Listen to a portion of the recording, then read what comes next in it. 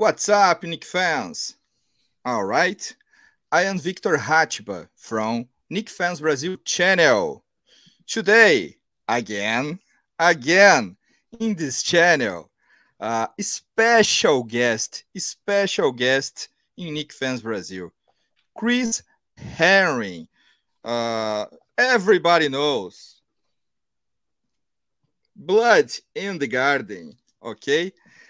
Welcome, welcome again in Knick Fans Brazil channel, Chris Herring. Hi, Victor. It's good to be with you. Thank you for having me a second time. I appreciate it. Uh, I talked with you in backstage. I am really, really happy with you in this channel. It's a great honor, great honor. Uh, in this interview, um, I invite uh, you because I want your opinion about New York Knicks. Okay, uh, first of all, first of all, kick, kickly. Uh, I want uh, say it for you. My congratulations uh, uh, on your book. I heard that Spike Lee is going to turn uh, his book into a documentary. Uh, I am almost at the end of this book because it's in English, Chris. It took me longer, but I love it. Lots of uh, cool stories.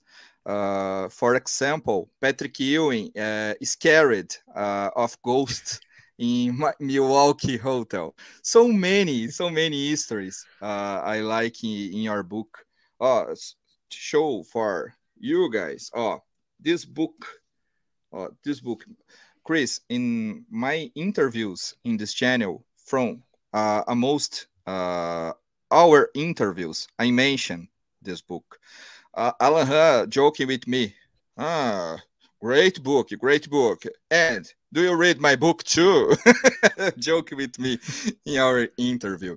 Uh, yeah. But so many people uh, appreciate your job, uh, and uh, I really, really, uh, I, I have this book. I really loves, and uh, I need say for you congratulations for your job, and really, really happy with you again in this channel. Well, well thank you so much. Yeah, uh, Alan and and basically everybody else who is a Knick fan who communicates with me on on Twitter, um, on social media has has congratulated me. Uh, the book has been a lot more successful than I ever could have dreamed or imagined. Um, I never could have imagined that someone like Spike Lee would want to do a documentary or a docu series on the book. Uh, Barack Obama put the book on his summer reading list, Whoa. suggesting that people buy the book. It, it, I mean, it's just been one thing after another. And, and when I first agreed to do the book, I never could have imagined any either of those things happening or that it would make the the bestseller list here in America. Uh, so I'm just very very grateful, and again, uh, very much appreciate you having me on the show and and you uh, wishing me well with it. Thank you so much, Victor. Ah, you deserve it. You deserve it. Really deserve, because it, it, it's amazing. It's a, a great book. Great book.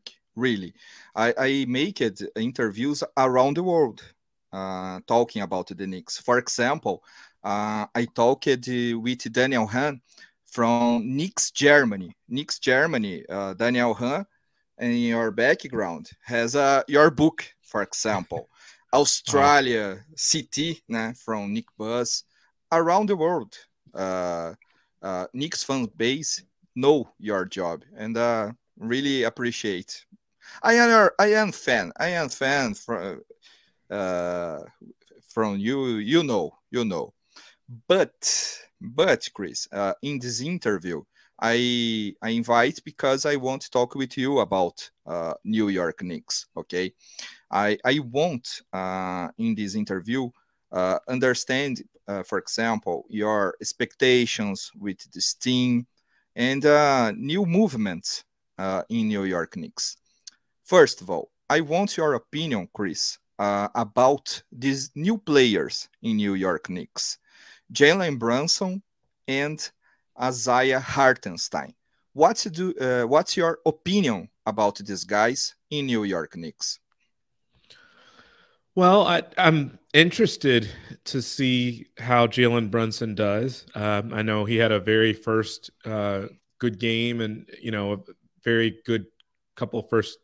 His first couple games with the Knicks have been really nice. Obviously, we want to see how the the season looks. Um, I think he's an interesting sort of player to um, build your offense around. Obviously, the Knicks were trying to get Donovan Mitchell, and so it would have looked a little bit different if he had uh, if they had been able to make the trade for him.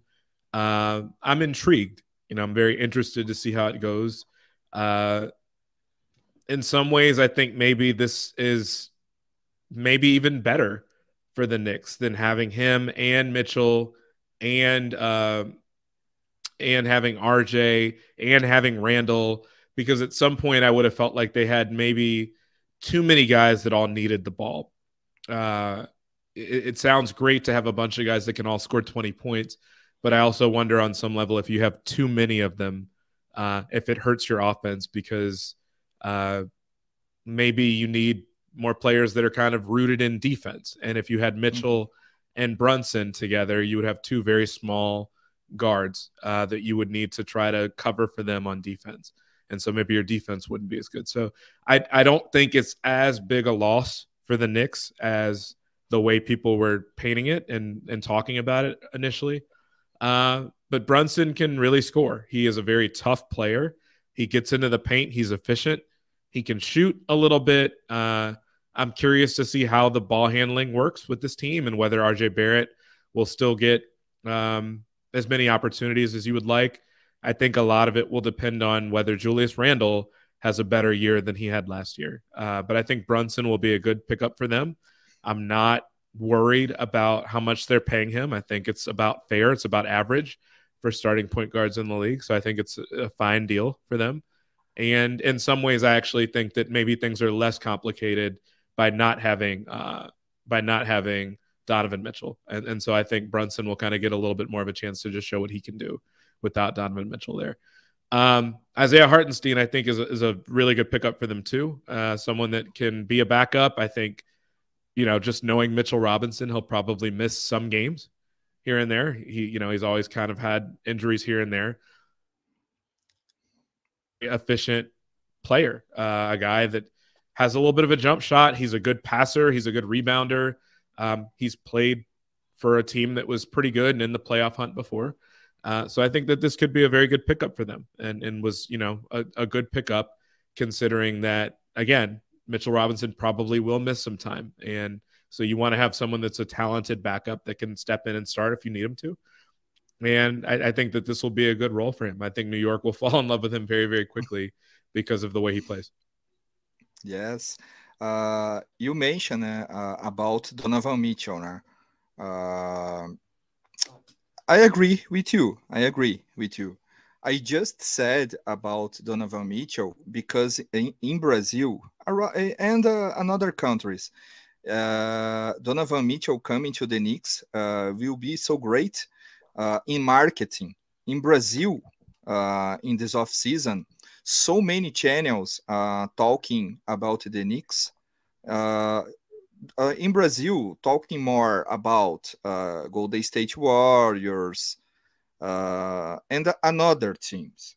In this off season, uh, uh, Donovan Mitchell uh, become Nika uh, so many so many lives, so many uh, subjects in the another channels in Brazil, and uh, just just just it for me. But I agree with you. Um, Jalen Brunson can be so so uh, great for the, from the Knicks because I like your energy, I like uh, your skills. Jalen Brunson, uh, for me, it's not a PG from my dreams. I don't think it's a franchise player, but mm-hmm. it's a good player. Knicks needs a um, solid PG a long time ago a long time ago and you know you yeah. know you know and uh, i believe uh, jalen brunson uh, can uh, help so much this team Uh, and uh, I, I, I am curious. You, you mentioned uh, in your in your comment, but uh, I want to ask for you. Ah, do do you do you think ah, Jalen Brunson ah, can eh, help eh, can eh, help more Julius Randle? Um, Julius Randle, for example, can be better playing with Jalen Brunson in the next season? I, I think a lot of Knicks fans are hoping for that. And I, you know, honestly, I thought last year that having uh, Kemba Walker and having Evan Fournier would help him. Uh, and we never really got a full chance to see that um, because Kemba Walker was not healthy and, you know, didn't play that much. And even when he did play that much, he was, you know, two or three games later, he was going to be out because of injury, because of his knees. Uh, Evan Fournier is someone that thrives mostly off other people creating for him and and setting up for him so that he can get an open shot. Uh, he's not he can handle the ball a little bit, but he's he's certainly not going to really run point for you, which is why they used Alec Burks the way they did. Um, yes. So this is a this is a different opportunity to have Jalen Brunson um, run the show for them. Can it help them?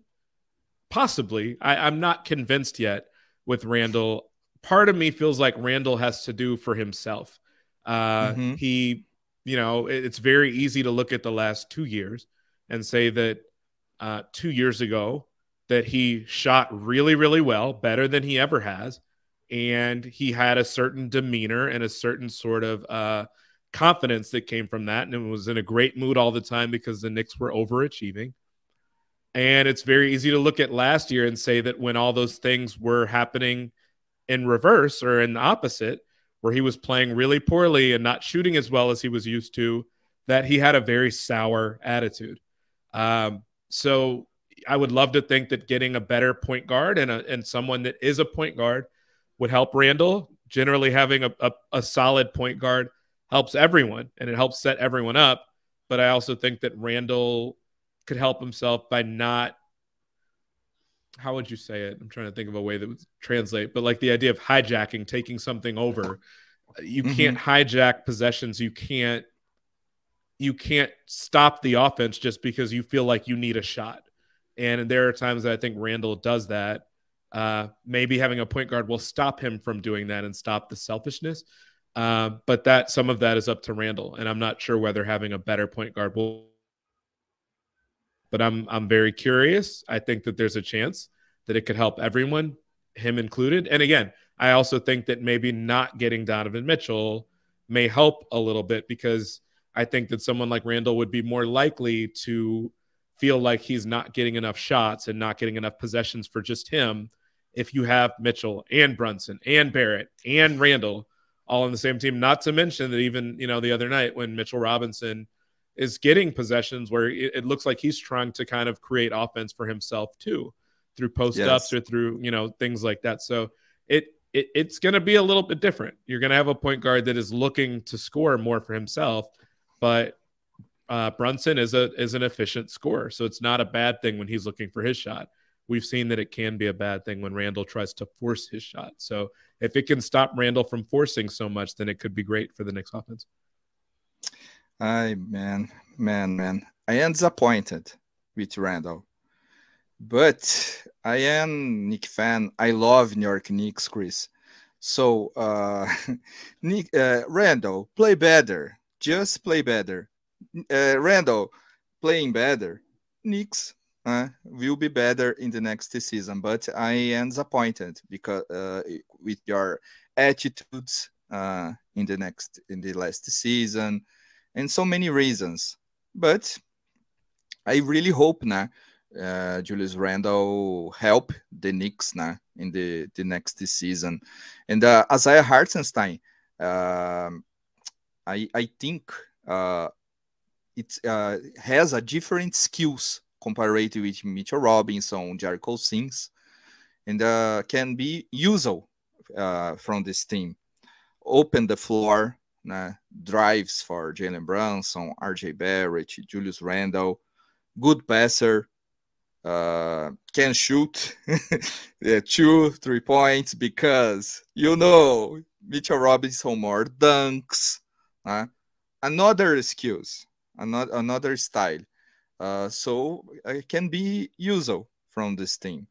Um, and uh, I won't uh, talk with you about your your situation, RJ Barrett uh, extension. What do you think about uh, the uh, RJ Barrett extension?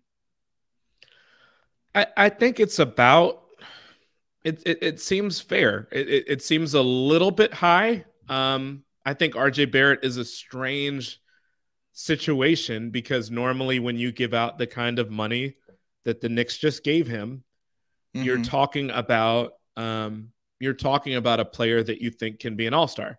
And obviously mm-hmm. Julius Randle was getting about, you know, was getting about the same amount of money. So I, I don't think it's a crazy contract. It's not really, really bad. Um, you know, I, I, imagine the Knicks probably would have liked to have paid maybe a little bit less. Um, mm-hmm. But if you're RJ Barrett, you probably are thinking like, I've got the potential to be an All Star. Now mm-hmm. it's time for him to show that. And maybe think about it this way: um, it would be very easy to imagine um, RJ Barrett, you know, being about the player he is now. And if he doesn't get a lot better in the next couple of years, he probably will not make an all star team. He probably needs mm-hmm. to take another jump. And, and mm-hmm. obviously, he's young enough to do that. But if you consider that they're going to pay him the contract he just got, and Randle the contract that he got, and Brunson the contract that he got, all, like you need one of these guys to probably take the next step and become an all star. And like you were saying about Brunson, he's probably not a franchise player. Um, and so it's some my, my biggest question about the Knicks is not about Barrett's contract or Brunson or Randle, but it's kind of like who's going to become your franchise player? Uh, mm-hmm. Uh, or are you still going out and trying to find that person? They obviously tried to get Mitchell. They weren't able to do it. So they've got all these picks left over. Um, mm-hmm. Who are you going to build this team around? And you, there's really rarely ever does a team win a championship with just one all star or just mm-hmm. one superstar. Uh, we've seen it happen a couple of times, but it's very, very rare. We, we, we obviously we saw Steph and the Warriors just win it, but even with that, you still have Draymond, you still have, Wiggins made the All Star team, although maybe some people would say he didn't deserve it.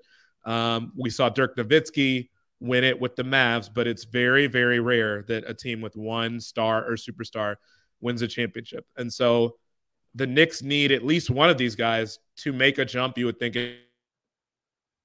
probably still need to find one guy to be like a legitimate superstar, um, or for all of their guys to become all stars, uh, all these guys. And uh, so, you know, I think Barrett, it's it's still we we still want to see him make another jump. Uh, mm-hmm. He's not quite as efficient as you would like. He's not quite solid enough from the line as you would like. Uh, he's decent and good at a lot of things, but he's not really great at anything yet. Um, and so you'd like to see him make the jump toward being more consistent and um, and showing that he's truly worth that contract. The best case scenario, if you're the Knicks, is that because of how young RJ is, that you uh, that he actually somehow outplays this contract. That maybe he's an All Star a couple of times, that he's an All NBA mm-hmm. defender a couple of times, and then you just lock him in on another contract and you pay him a super max. That would be great if he becomes a superstar. I don't know that anyone's expecting that. I think we're all pretty clear on the fact that he's probably not going to become Ja Morant or Zion Williamson. Um, but he's shown enough good things to think that he's capable of being an all star. And I think that's really all you want for him is to show that he can be one of the guys that helps this franchise toward a championship in the next few years.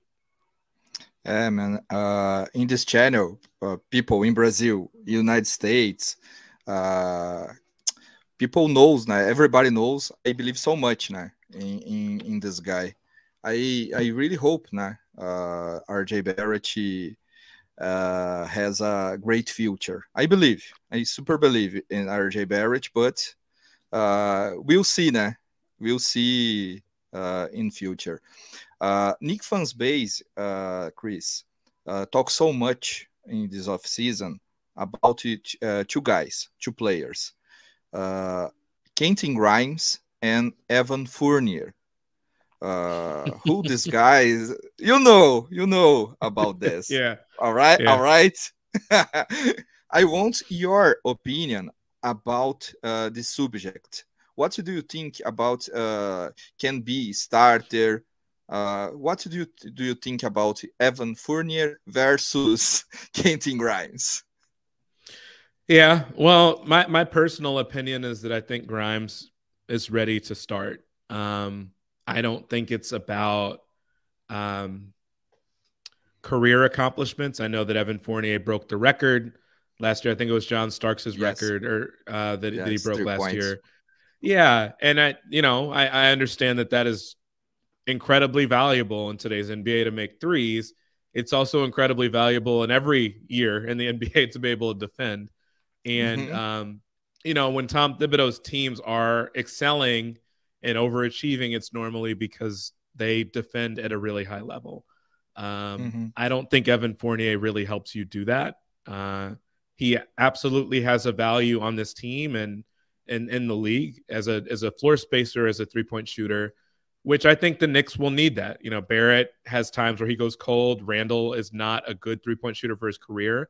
Uh, I think Brunson is, you know, one of the better shooters they'll have, but Fournier is really like the the three point threat that they've got in their current starting lineup. I don't think that Quentin Grimes will start, at least not to begin the season, because Tom Thibodeau was very clear in saying that Evan mm-hmm. kind of mm-hmm. has the lead in his mind. And on top of that, Quentin Grimes is hurt to start the season. So, or at least the preseason. So, any chance that he would have had of winning the job through preseason has kind of been uh, taken off the table already because he hasn't had a full preseason.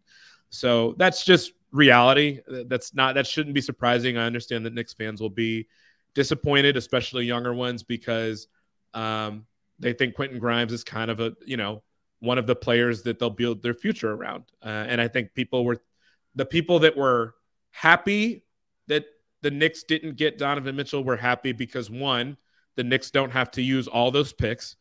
But two, and for some people, I think the second part was more important. Quentin Grimes is a is the sort of player that I think every championship team will have. Someone mm-hmm. that can knock down threes, and someone that can defend, someone that plays with a, a high motor that is energetic, um, who doesn't have to get a lot of shots, but if he's getting a lot of shots, it's probably a good thing because he is an accurate shooter. So uh, Quentin Grimes could be very valuable for this team. Um, I would like to see him start just because I think that at times the Knicks aren't great on defense, and I think Quentin Grimes would help them be closer to that. But I'm not. I'm not surprised. This is who Tom Thibodeau's kind of always been. He's kind of always leaned more on veterans, and uh, you know, and Quentin Grimes to kind of even break into the lineup last year, uh, and it required injuries for him to get his chance last year. So um, I understand that he won Knicks fans over very quickly. I expect that it will take longer for Tom Thibodeau because that's kind of how he's always been, whether it was in Chicago or Minnesota or now here in New York. Um, I, I, I agree with you, and uh, I think um, Evan Fournier can be uh, great from from the Knicks from the bench, from the bench uh, uh, puts your three points on fire. I joke uh, with my friend Ron from Still Knick Fans channel. Uh, we we need buy a, a glass from Evan Fournier. See in all games, Chris, Boston Celtics, just Boston Celtics. Evan Fournier, yeah. MVP, MVP. Yeah. Every time they play the Celtics, he has the best game of his life. But uh, yeah, I mean, he, you know, in fairness to him, like I know that that was the joke for most of last season. He did have a like he started really slowly, really, yes. really slowly. He got better as the year went on. I think people kind of understood what his shortcomings are and where he's not very good. He's not very good defensively. Um, mm-hmm. He's, you know, he can score here and there, but most of the time it's just that he's a really effective three point shooter. And th- there's mm-hmm. nothing wrong with that. I just think that um, you should want to put out the best starting five you have. And, you know, and quite frankly, you know, my, my hope if I was a Knicks fan, which I always say I'm, I'm just a, you know, I'm just a reporter. I don't really root for any mm-hmm. of the mm-hmm. teams in the league. But yes. if I were a Knicks fan, what I would want from Tom Thibodeau is just okay, fine. You're not going to start Quentin Grimes. You favor veteran players. I get it. It does. It doesn't surprise me that that's what you're doing. But if Quentin Grimes has played better over the course of a game, or if he has a stretch of the season that he's playing better than Evan mm-hmm. Fournier, just use Quentin Grimes at the end of games. Don't don't give Evan Fournier an advantage and play him at the end just because he's been in the league longer. Give give Grimes a chance. Uh, and and you know, just like you gave him a chance last year and he showed you to look very smart, or some fans would say very dumb because you waited so long to give him a chance. But I, you know, I think that more often than not, a player like that who is as consistent as what Quentin Grimes looked like will will make you look smart for using him more. And I think that you want to at some point it would be nice for them to kind of start turning over the reins to Quentin Grimes more than uh, than Evan Fournier, especially at the end of games if, if Grimes is playing better. Um, I I may uh, people mention uh, uh, hashtag free free Obi. I mention hashtag free Grimes, free Grimes.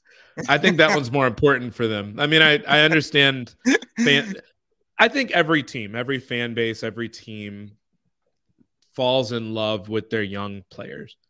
Mm-hmm. The Knicks fans, especially, we all know why. You know, I wrote about this several years ago, and then it kind of caught on. It's that stat about Charlie Ward and the fact that you know up until recently with RJ Barrett that they had not re-signed a first round pick uh, mm-hmm. to a mm-hmm. multi-year deal since Charlie Ward in 1999. So you know it it had been more than 20 years since they'd done that.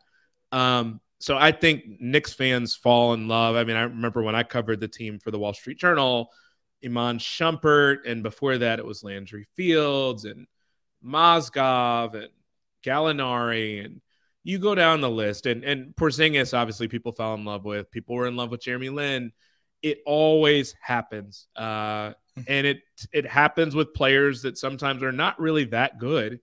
Um, you know, but they might have a good stretch during the end of a season where the Knicks are already out of the playoff race. So the young guys get more time, so their numbers kind of get inflated. Um, so I understand every, and that happens with every team. It especially happens with the bad teams and the teams that don't make the playoffs because fans don't have anything else to get excited about except the future. Um, yes. So I understand it. Obi, I, I do think has some real skill. He's got some real talent. He's very good in the open floor. He has a jumper, you know, that maybe is not always the most consistent, but he has real potential. Um, it doesn't mm-hmm. surprise me that Thibodeau doesn't want to play him a little bit more because he's not the greatest defender, at least not all the time. Um, and also, he plays a position that as of a year ago, the guy that you thought was the best player on your team was also playing yes. that position. So he's he's not going to get that much time. Like if Randle's playing decently at all, he's probably not going to play that much. Oh, and this was the big controversy a week ago that Thibodeau said that he didn't see playing Randle and Obi together that much, and that people would like to see it more. Okay, again, Thibodeau is a defensive, a, a defense oriented coach.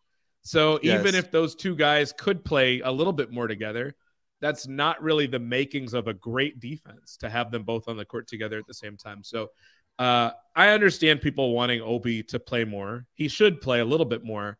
Uh, I think that Grimes, like you said, is is the player that they would probably get more mileage out of right now, and I think that they would have the better chance of maybe seeing him get a lot more playing time because he does most of the stuff that Fournier does, um, mm-hmm. But also is a much better defender than Fournier is. Uh, with with Obi, he does some things that Randle isn't doing, um, but neither one of them is great on defense, really. And so, to me, you know, I understand Thibodeau and other people hoping and praying that Randle will get back to his All NBA sort of season because yes. he's shown you the potential of what he can do when everything is perfect uh, for him. I, I, don't think that uh, I don't think Fournier Fournier's upside is not as great uh, as Grimes's, and I think that you know we we know that Randle has more upside to what he's doing if he's playing well. So I, I would understand uh, the argument for Grimes a little bit more than Obi. I understand Knicks fans want both of them to play all the time, but uh, I think Grimes makes more sense to be in the lineup more. You mentioned uh, Grimes now, with my question, and Obi Toppin, uh, these younger core, these younger players from the Knicks. How, what's your opinion about another players, these younger players from the Knicks? for example, Immanuel Quickley, McBride, uh, and other players. I and uh, I am uh, worried uh, about Cam Reddish, for example, because I I, I think it's a uh, Reddish. It's a good player, but I can't see this player uh, has a great chance in this team. I I don't see my opinion. Okay. Uh, I want your opinion about uh, these younger players. You mentioned uh, Obi Toppin and Quentin Grimes. Okay, but I I I I want your opinion about the younger players uh, in general, uh, like for example Manel Quickley and uh, another players. What's your opinion about this? I, I think they've got some really intriguing. I, I know I've used that word a couple times, but like intriguing players. I think that Quickley, um, they're and they're all young enough to where they could still get a lot better. Uh, Quickley is someone who, when he first got to the team, I didn't think very much of his defense. Um, he was really rare in how confident he was that you watch the games and he is someone that will pull up from 25 feet away and you know take jump shots in transition um, which normally you're watching Steph Curry and Damian Lillard do that. You're not watching rookies and second year players do that. Um, but mm-hmm. he makes a decent amount of them. We watched him do some of it in the in the Hawks series when they made the playoffs, um, where he did not shoot particularly well in that series, but he was not afraid to shoot. Um, and I think Tom Thibodeau even the other day was saying that people kind of reduced Quickley to being um, a player that is all he can do is play offense, but he he's he's tall enough and has enough length, and you know mm-hmm. his arms are long enough to really make an impact on defense as well. Um, so sometimes he takes bad shots. Uh, I remember one play last year. I can't remember which game. He, I think they were in transition. They had a fast break. He was inside the three point line, like he was going toward the basket, and like he dribbled all the way back out to take a three, and it was kind of like, what was mm-hmm. that? So sometimes I he remember. wants to score a little bit too much. Um, but he absolutely has talent. Um, it's a nice guy. Yes. I, you mentioned Spike Lee earlier, and um, Spike made a point of mentioning, or, not mentioning, but I, I sat next to Spike yeah. from one of the games, uh, courtside, and uh-huh. um, this was actually a game at the Garden. Uh, the Knicks were playing the next day, but we were at a college game, and Immanuel Quickley came to the game and was sitting next to us. And Spike made a point of introducing me. And so me and Immanuel were talking a little bit. Very nice guy, met his family. But, you know, I, I, I think that he's got room to improve, but I understand excited about him. He's got a, a pretty decent offensive game.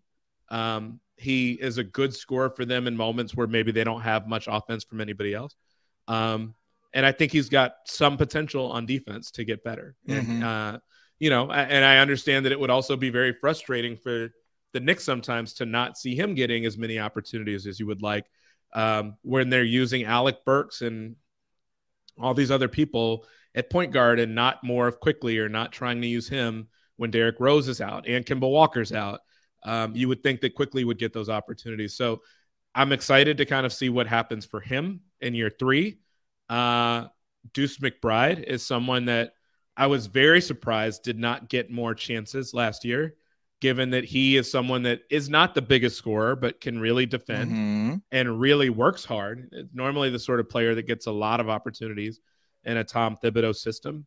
Um, and it seems like every time he gets a chance is is doing those things, is defending as hard as he can, is working hard. Um, doesn't mean that he'll be a star. Doesn't mean that he'll have yes. a regular role every night, but it seemed like there were more opportunities there than than what Tom Thibodeau used him for. Um, Cam Reddish is the one that I don't like. You said I don't really know that he fits, and uh, mm-hmm. I understood why the Knicks took a chance on him. They weren't giving up all that much to get him. They gave up Kevin Knox, who was someone that, even from his rookie year, was putting up statistics that weren't very, it wasn't very clear that he even really belonged in the NBA. You had to try him because you had spent the first round pick on him. But statistically, there were there were indications right away that he might not even be good enough to be in the NBA for more than a year or two. And I think we're, you know, the Hawks have not really used him, so it wouldn't be surprising if he's not in the NBA uh, in the next year or two.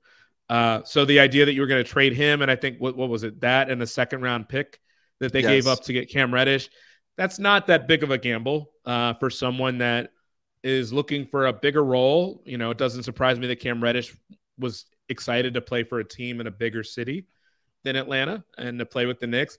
Um, he to me he is not fit that well into what they do.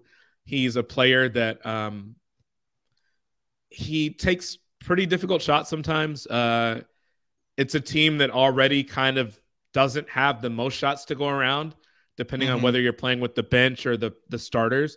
Uh, we we talked about how the Knicks might have dodged a bullet in a way by not getting Donovan Mitchell because maybe he wouldn't have fit the team that well. My fear with Reddish is that he's really talented, but maybe not a great fit with this team. He's not, he, he's someone that has a ton of potential because he's still very young as well. Um, but Tom Thibodeau's not the sort of coach that has a ton of patience to like watch you go yes. through growing pains on the court. Mm-hmm. And some fans hate Tom Thibodeau because of that. Um, but he, but you know, he knows something about what he's doing. He's won a lot of games before. Um, there's a reason that he's been to conference finals before. Um, you know, I, I, I think, I just don't think Cam Reddish is a great fit. I think sometimes because he ha- has stretches where maybe he's not going to play or games where he doesn't play, that when he does get a chance, that he, it almost feels like he wants to make everything happen every single moment he's out there. And mm-hmm. um, you know, every now and then he has a, a, really nice play like the layup he had the other night. But sometimes he's just trying to do a little bit too much when just getting the little things done. Like all the reasons that I think Knicks fans really, really love Quentin Grimes. He works really hard and he's normally not going to make really bad mistakes because he's just trying to make the smart play.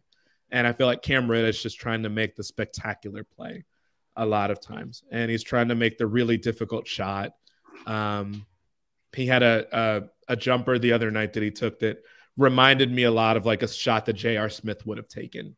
Um, mm-hmm. Which, when those shots go in, they look wonderful, and there's a whole reason. You know, there's a reason that um, that fans love players like J.R. when he plays well, but there are also reasons that you really, really get frustrated with J.R. because he does stuff that he doesn't have to do because it might look better. And I think uh, Cam mm-hmm. Reddish does some things like that too. Uh, and Derrick Rose, uh, do you have uh, expectations yet with this guy, or you see uh, the this player? Uh, it's very important. help developing players, help these younger players. What do you think? What's your talks uh, about Derrick Rose?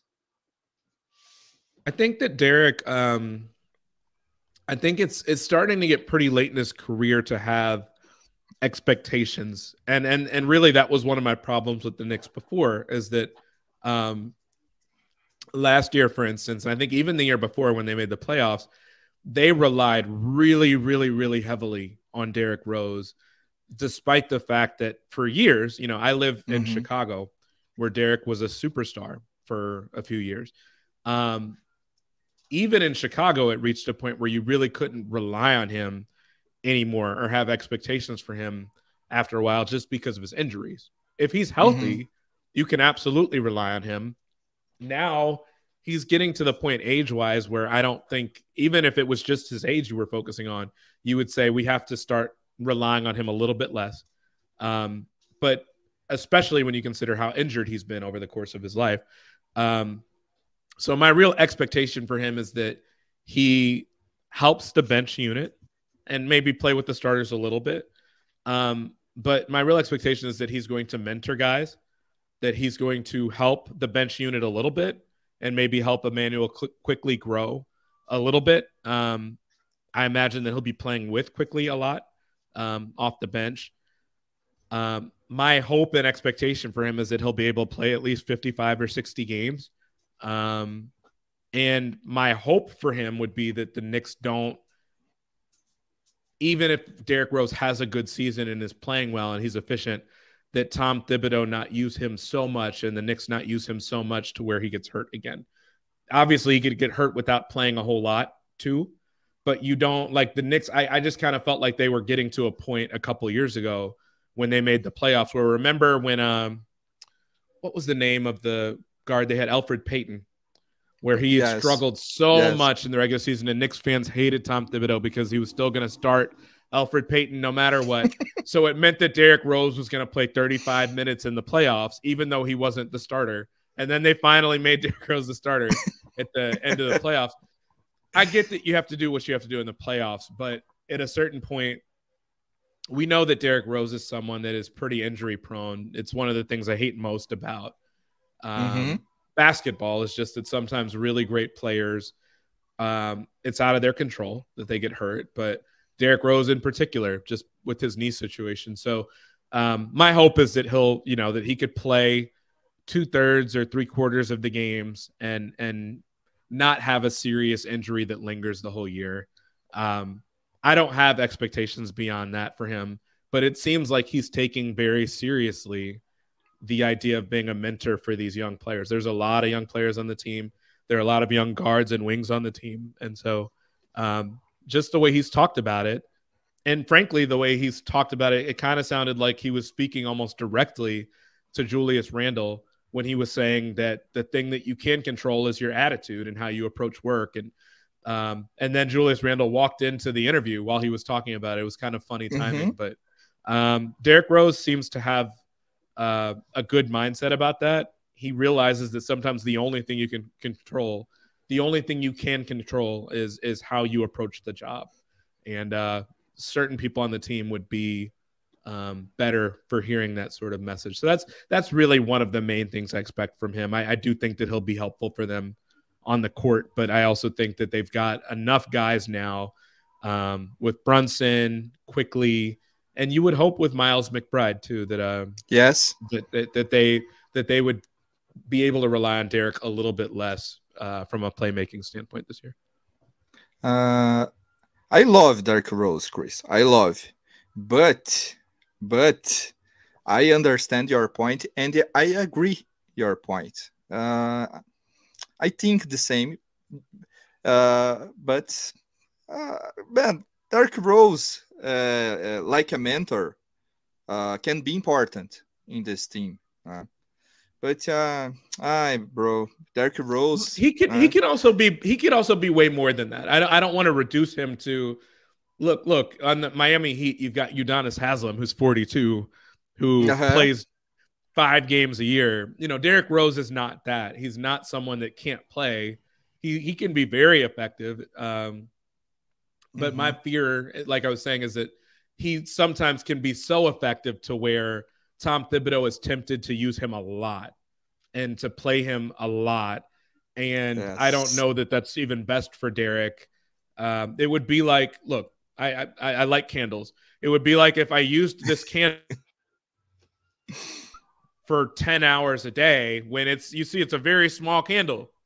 Derrick Rose is someone that might not have that much left in his knees in the tank, similar to what we saw yes. Kemba. Derrick is more effective than Kemba, but if you know that he only has so much left, you don't want to use it all the time. And uh, mm-hmm. so the Knicks would be very smart to use him and, and maybe sit him out on back to backs or, you know, or to try to limit him to 15 minutes a night at this point, um, just so that you don't burn him out. But he's not, yes. he, he's still effective. I just don't want to see them burn him out. Uh, so he can be more than a mentor, but I think that mentorship is one of his most important qualities right now for the Knicks. I think. No, no I agree. Super agree with you. Super agree. Uh, in the last question, Chris, last question. Mm-hmm. Uh, I I want uh, your opinion. Uh, what's your expectations with the New York Knicks in the next season? Uh, do you believe uh, in playing Uh, do you believe playing and playoff later? Uh, do you believe playoffs? Uh, six six seed, for example. Mm-hmm. What's your expectation? Because I know this conference it's very hard, very it's hard. conference. Yeah. Yes. Um, I, I I think if I had to guess, I would say that I think that they'll end up as a play-in team.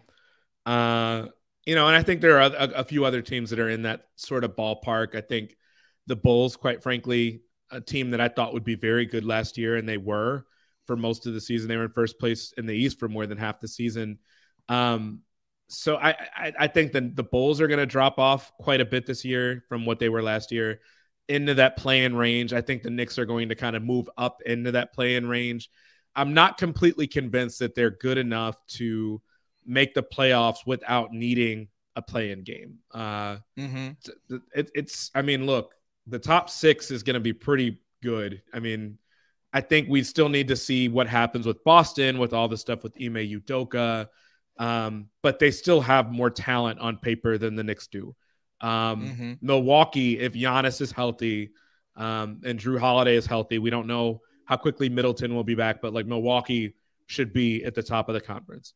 Miami, um, even if we aren't sure exactly how good they'll be, they were just the number one seed. So even if they fall off quite a bit, you would have to think that they'll fall off a lot to to miss the playoffs or you know to need the play in to get in. So like those three teams, Philly, Philadelphia should be really good this season. I think. Uh, you know, if Embiid is healthy, Harden is you know, I don't know if he was fully healthy last year, but having him back, Tyrese Maxey looks like he should make a jump again. Um, and they've got you know some really good talent off the bench this season. Uh, they got PJ Tucker and still PJ Tucker from Miami. So Philly should be good. That's four teams right there. Um, and there, you know, there's that we haven't even mentioned Atlanta and whether Atlanta might do better with Dejounte Murray. Uh, I, I just don't quite see the Knicks in that top five, top six. I could see them finishing seventh or eighth. Um, I think that they've got a better argument than a team like Detroit. Um, you know, I don't think Orlando's quite ready, and even if they were, they've had a couple injuries already. Uh, you know, I don't think Washington will be that great this year. Bradley Beal starting the season with COVID, which is not great. Um, you know, so I, I, I think that they'll be better than a, a, handful of teams, and I think that they'll be right there in that play-in conversation. I still think the Knicks are at least one key guy away. Um, and let's be honest too, if Brunson were to get hurt, which Brunson has had a really good track record with injuries, but he is kind of the sole guy that we look at and we say, like, this is the reason the Knicks should be better. And they should be. I think they will be. But if, if anything were to happen to him, uh, all of a sudden you're running into some of the same sort of conversation we were having last year about their point guard situation. How do you manage to not overextend Derrick Rose and maybe play him too much? Uh, will Tom Thibodeau play Deuce McBride like if he has to? If not, all of a sudden you're relying a lot on Quickley and Rose uh, in place of someone like uh, Brunson, who was the main reason you would think that the team will do better this year. So I, you know, they could use a big jump from their young guys. They could use um, a nice boost from Brunson, who maybe can spread his wings a little bit more as the lead guy. Um, but really, I think again, I think a lot of it and Randle being a lot better. And I don't know yet. You asked me earlier, do I think that Brunson will help Randle? I don't know. I, I, wish I did, uh, but it's hard. To, it's hard to know where to place them without seeing how much better Randle is than he was last year. Because if he's if he's as bad as he was last year, as, as frustrating as he was last year, and has the sort of attitude that he had last year, um, I just don't see it for the Knicks. You know, like maybe is the last team in or something. But if he's decent or if he's good and Brunson does what he's expected to do, I think that they could finish as a play playoff team without needing a play-in game. Uh, but I think it's most likely that they are somewhere in that eight to ten range and that they might need help, or seven to ten range, and that they might need a little bit of help to get into the playoffs or win a play-in game to make it into the playoffs. Uh, about Randle, uh, Randle needs helps Randle. Randle needs uh, helps yourself. Uh, uh, about uh, this team, Chris, uh, I think I, I believe uh, Knicks uh, playing later playoffs. Really, I believe. Uh, in in uh, season in the next season, I believe in in four 41 uh, uh, victories. No? And but but uh, I remember in, in the pandemic season, nobody nobody uh, believe in in Knicks. Nobody. Uh, mm-hmm. Knicks uh, coming to playoffs. I believe I am I am crazy, bro. I am I am crazy. I believe I have a, a, video in this channel. I uh, I talked about this, but um, I remember uh, Knicks uh, Elfrid Payton was a point guard. this team in pandemic season and Knicks uh, coming to playoffs. Yeah. Now we we have uh, Jalen Brunson. Jalen Brunson is not a franchise player, etc. Okay, but Knicks has a solid PG now. Um, so I I want uh, this team surprise me, sur surprise me in the season. Okay, I I I know uh, uh, our conference is very hard, very hard. But I I talk I, I talked uh, about pandemic season. Nobody. Uh, and RJ Barrett uh, mentioned your your interview. Uh, Knicks uh, will shock. Nah. Okay, I, I understand. Nah? And in these interviews, pre-season, uh, like uh, come back to the school. Uh, oh, oh, my friends, I back to the school. Yes, it's a great year. Do you understand? Do you understand? Yes. It's but, very fun for the first couple days, and then you're like, oh boy, what did I get myself into?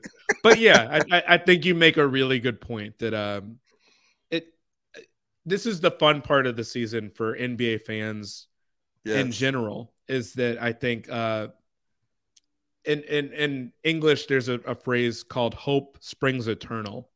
Uh, uh-huh. That you always kind of have hope, and that especially at the beginning of a process, that you you go on with high hopes. Everybody talks about how great their summer vacation was, how they went and traveled, how they gained ten pounds of muscle, how they were in the gym all the time.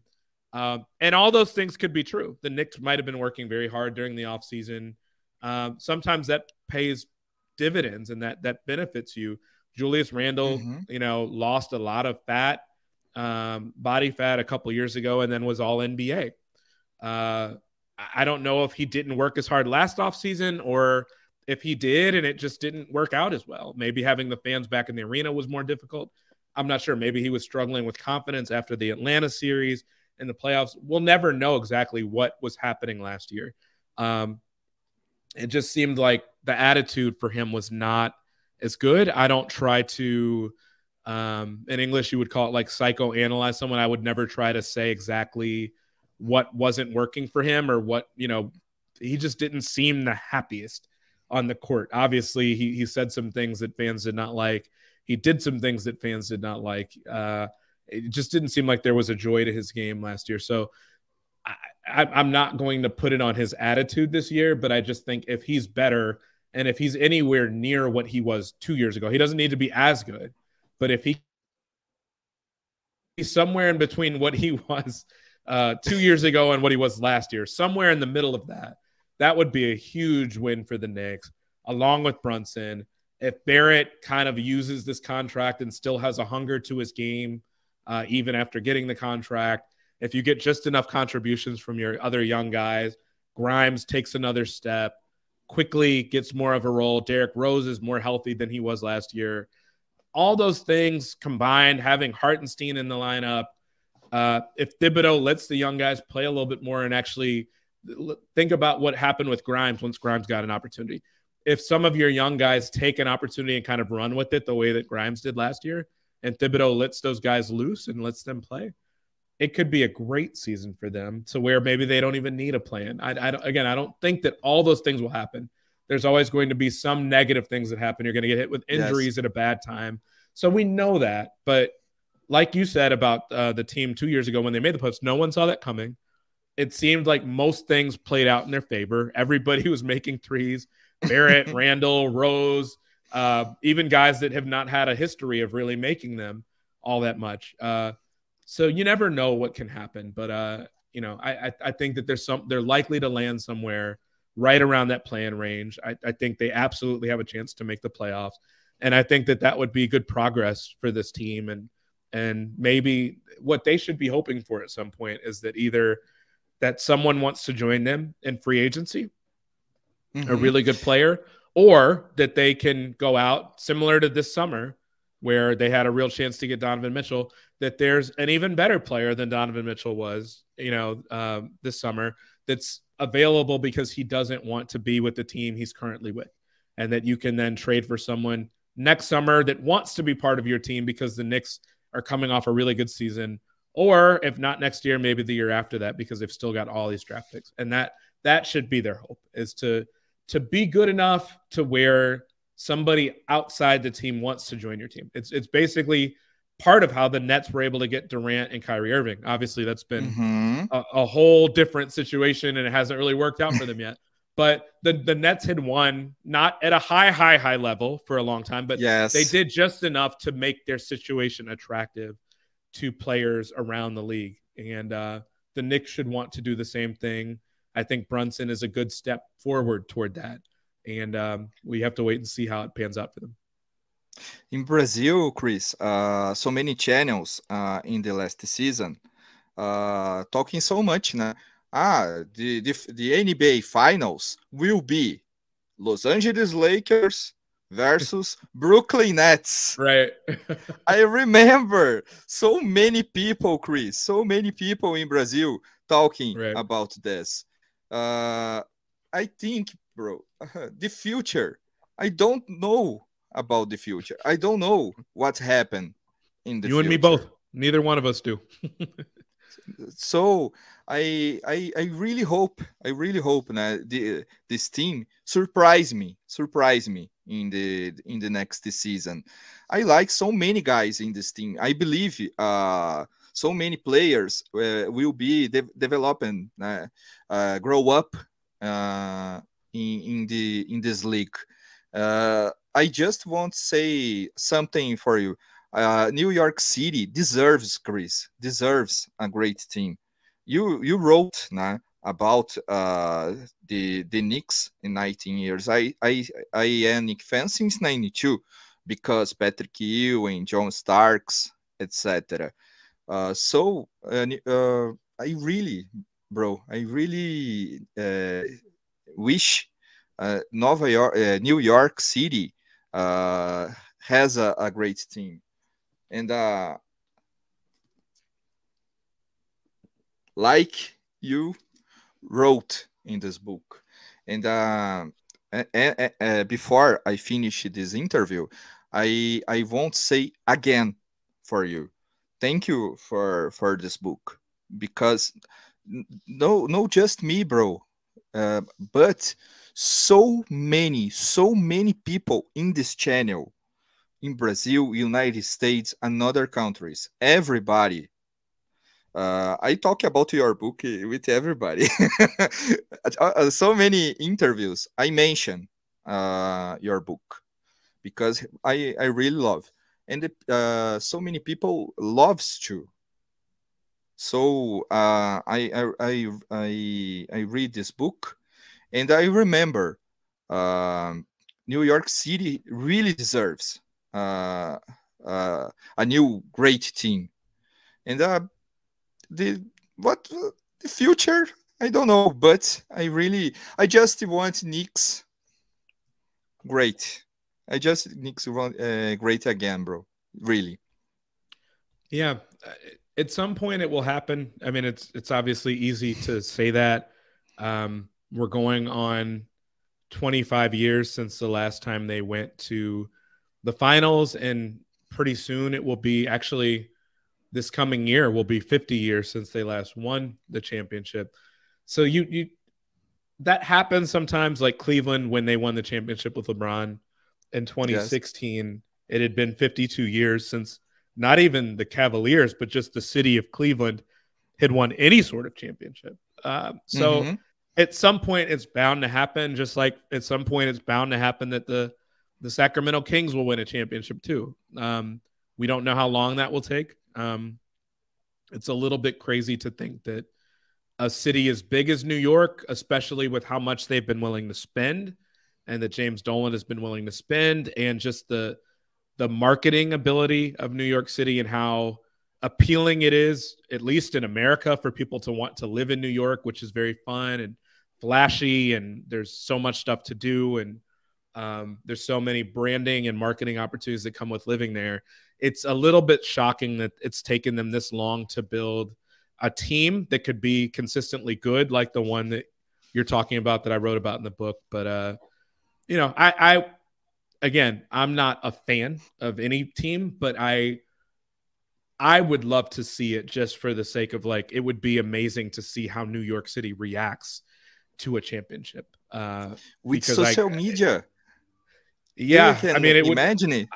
Just even the videos and stuff, and and you know, I, I've seen, you know, living here in Chicago, um, I can remember the parades that they had here for the Bulls in the 1990s. And, but that was something that people in Chicago got used to because the Bulls were so dominant with Michael Jordan. Um, but I feel like the thing I could compare it to for the Knicks, living in Chicago, I have friends that are fans of the Chicago Cubs who went 100 and was it 116 years without winning mm-hmm. a championship. And so you know these people that had parents and grandparents and great grandparents that died waiting for the team to win and it it it's funny to think about because it kind of sounds silly that people would be such big fans of a team that never wins but it's actually very emotional for people that you know that have waited that long and in some cases have died waiting um that people in Chicago were like going to cemeteries and putting their radios, like their their big, you know, the old school radios that you have next to graves and in the cemetery for their grandparents and stuff like that so that they could like hear the Cubs win the championship. Uh, and just to think about that, even though I don't have a I'm not a fan in the NBA mm-hmm. of any team, thinking about that gives me goosebumps just because I know that it's it's very important how much it means to people. Um, so I, I hope for everyone's sake, and I, not just Knicks fans, but like I hope everybody gets to experience their team win a championship at least once, um, especially for the fans that have waited their whole lives to experience it. So um, I don't think that that I'll just be honest. I don't think that will be this year. I'd be a little bit surprised if it's even next year, but um, at some point, I know it will happen for Knicks fans, and I will I will be very very happy for Knicks fans once they get to experience that because I feel like every fan, particularly the ones that wait and and wait and wait and wait uh, really deserve to have that uh, patience uh, kind of rewarded at some point. Uh, it's complicated, Chris, because uh, I am tired uh, with the jokes. Man, sure, Knicks, Knicks, Knicks. Uh, people loves loves making jokes with, with with us it's complicated, bro, because I, I remember this team giant in, in 19 years. Uh, it's a great team. So uh, first, uh, uh, so many years. Uh, uh, you mentioned Charlie Ward, uh, Patrick Ewing, Allan Houston. So many great guys mm -hmm. play in Knicks. but I, I, I, talked with you. I, I, I really hope uh, Knick fans deserve, bro, uh, a better team. Okay, uh, I believe in, in three years this team uh, has a chance, uh, a contender again. But I love this team, Chris. I love this team. I I, I don't uh, I don't um, make this channel, and uh, I I am a Knick fan uh, because Knicks wins. I am a Knick fan because I love I, I I love New York Knicks. Okay, uh, it's easy uh, become a Golden State Warriors fans, uh, but this feeling uh, is passion, uh, and Knick fans is loyal with your your team love your team, uh, and uh, I, I I I I see the this passion in soccer in Brazil, like uh, uh, teams, for example, Flamengo, uh, Corinthians, teams, uh, teams uh, from soccer in Brazil. So, but uh, I, I, I don't I don't say more nothing about this. I just want this team uh, great. And Chris, uh, I, I I just want to say thank you about uh, again uh, in this channel really happy, really happy. I talked with you. Uh, uh, was a fast interview, one hour. Yeah, sorry. Thank you so much for sorry. having me. No, it's that's okay. I, I appreciate you wanting to have me back on, and I appreciate you for being such a big fan and, and big supporter of my work. Uh, I I know that you were a big Knicks fan but that does not obligate you or require you to be a, a big fan and big supporter of my work. So thank you so much again for for buying my book. Uh, I know how much you promoted it on your show, and and and thank you for taking the time to read it. I, it's funny, man. Like, um, I think a couple weeks ago, one of my agents came to me and said that uh, there was a Japanese publisher that was willing to make a deal with my publisher for the ability to publish the book in Japanese. And Whoa. while I'm very happy that they did that, I'm like, could you guys work on Spanish, like Portuguese? Like, because there's a lot of fans that speak those languages that would probably really love to read the book. So I'm I'm hopeful now that with the deal with with Spike and and the fact that it's going to be made into a docu series, kind of like The Last Dance. My my hope is that um, that it will get translated into more languages so that you don't have to and, and I know that you're very, very good with English. Obviously, we've done this whole interview in English, but I would love for people to be able to read it in their native languages so that it's not as as difficult, not as much of a um, a process for them to have to read it. Um, my my girlfriend um, is Dominican, and uh, her father does not oh, speak very much oh. English. Um, so you know, like I, I'm just desperate for them to put the book in Spanish, even so that he can read it. Um, I'm I'm also desperate for the documentary itself to come out so that uh, you know people can listen to it and hear it in their own languages as opposed to just English as well, or, or you know, or at least make use of the um, of the subtitles so that it, it can be something they can experience in their own language as opposed to having to hear it through English only. So I, but I really appreciate you taking the time to to have me on and for you uh, rooting for me as much as you have and, and cheering me on as much as you have. It means a lot, Victor. Thank you. No, no, no. Ma- can imagine. Uh, I just want to say one thing. Uh, people needs read your book because uh, has uh, so many great histories. Uh, I I don't know so much. Uh, for example, uh, I I uh, stay in my mind uh, you wrote about uh, Pat Riley, uh, history about uh, your wife now, but uh, in the past it was a girlfriend. In the first date, Pat Riley bring your girlfriend in the, a box. Uh, follow a boxing match, yeah Yes, box match in the fo- uh, follows Bloods in the in the your girlfriend Pat Riley. Whoa! I lost my girlfriend. I lost my girlfriend.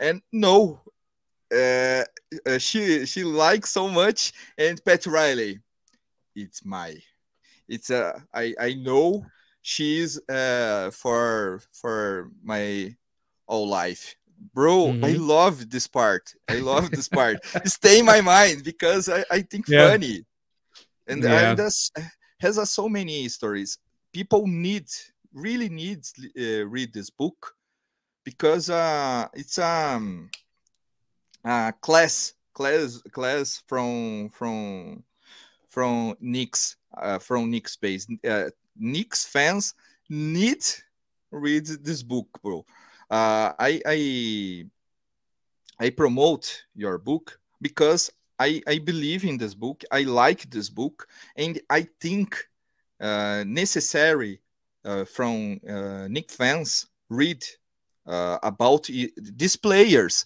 uh, make history in this team because Knicks uh, wins conference, not the NBA finals, but these titles. people talking so much uh, like in the championship in 70, 70 years. Comparate so much these teams, and uh, I, I I really really uh, love Blood in the Garden. I I promote your book, uh, people. Uh, Chris, don't pay nothing for me. I just I, I just make this because I really I really believe this book deserves uh, like Spike Lee, like Spike Lee see uh, that that uh, I see in your book, okay? And uh, for me, I hope, I really hope you you enjoy, you like it. Uh, make uh, interviews with us. Uh, I, I, I joking with uh, our time because I, I know uh, but man, I talked a fasting interview past one hour because I That's really okay. want in the future, in the future, I, I, I know you are busy. I know this. But in the future, I hope uh, bring you again in this channel. And I hope uh, see you in United States when I, I make the trip. I will uh, uh, talk with you and uh, I send a mail for you for you know oh uh, in two months I will go to New York. Okay. Oh, okay. Okay. Beautiful. I Maybe. I'll uh, I'll try to figure out if I can be there. Like I said, I've got my girlfriend lives in New York, even though I'm in Chicago. Um, yes. So I, I try to get there a decent amount, but uh, I, I still am trying to make my first trip to Brazil. We actually, my girlfriend and I talked about trying to get down there for Christmas. I know New Year's is a big deal down there in Rio, um, and so we I've never been before, so whether it's Come you coming Paulo. here or me going there. So yeah, Sao Paulo. I would literally was looking at hotel accommodations in Sao Paulo a week ago. Um, you know, so at some point I know I will be down there. Um, my uh, my best friend has been, and he talks about it. Says it's the best trip he's ever been on. So I I absolutely will go at some point. But I, I look forward to meeting you. I look forward to being back on with you at some point when we can make work. Um, but but thank you so much for having me on this time and for always being such a big loyal supporter of my work. I really appreciate you, man. Thanks so much, bro. And I talk with you in the future. Okay? Take care, Chris. You too, Peace. Victor. Take care. Thank you. Bye.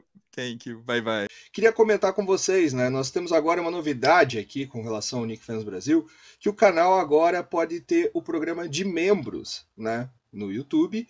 Então eu gostaria de pedir para você você que puder, se inscreva também, né? Seja membro, seja membro do Nick Fans Brasil. Apenas R$ 7,99 por mês. Apenas R$ 7,99. E você vai ter vantagens exclusivas, vantagens exclusivas por ser membro do canal Nick Fans Brasil.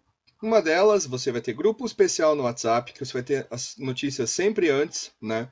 Vídeos e etc. sempre ditos antes para os membros uh, benefícios que vão ser estudados ao longo do tempo, que vão ser exclusivos para vocês, além de sorteios, galera. Quem for membro vai ter essa vantagem, galera. Então, bora lá, participa e apoia o canal Nick Fans Brasil, pessoal. Beleza? E aí, pessoal, este foi mais um vídeo aqui no canal Nick Fans Brasil.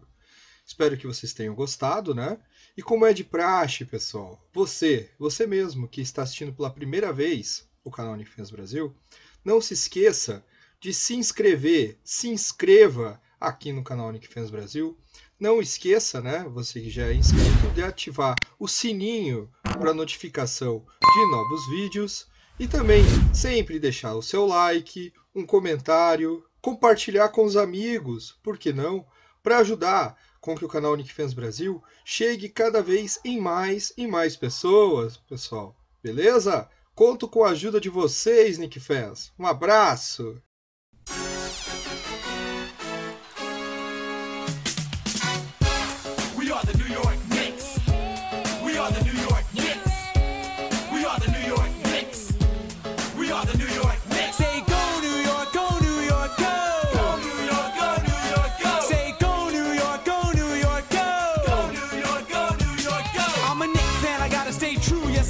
You down with the orange and the blue? I'm a Knick fan. I'm a Knick fan. I'm down with the orange and the blue. I'm a Knicks fan. I gotta stay true. Yes, I do. Are you down with the orange and the blue? I'm a Knick fan.